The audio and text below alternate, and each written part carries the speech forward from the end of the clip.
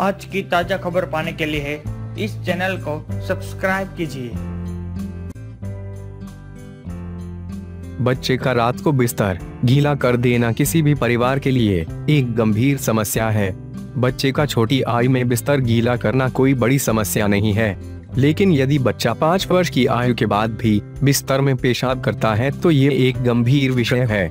Emotional और mental stress की वजह से बच्चे ऐसा करते हैं। कई बार उन्हें बार बार डांटना उनके दिमाग में बैठ जाता है, जिससे वो घबरा कर बिस्तर गीला करते हैं। वहीं फैमिली हिस्ट्री की वजह से होता है। बच्चों को सोने से पहले बाथरूम ले जाएँ। इससे धीरे धीरे उनकी बिस्तर गीला करने की आदत कम होती जाएगी। बच्चों को कैफीन युक्त पेय पदार्थ कम दें। इससे भी बच्चे बिस्तर गीला करते हैं।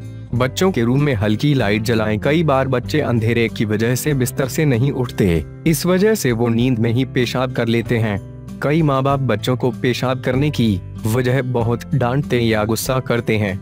इसके बजाय आप उसे प्यार से समझाएँ। जिस दिन वो पेशाब ना करें, उसे इनाम दें। इससे उन्हें स्ट्रेस नहीं होगा और वो खुश रहेंगे।